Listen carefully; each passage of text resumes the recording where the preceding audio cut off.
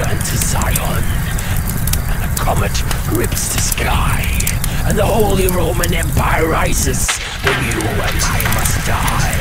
From the eternal sea he rises, creating armies on either shore, turning man against his brother, till man is no more.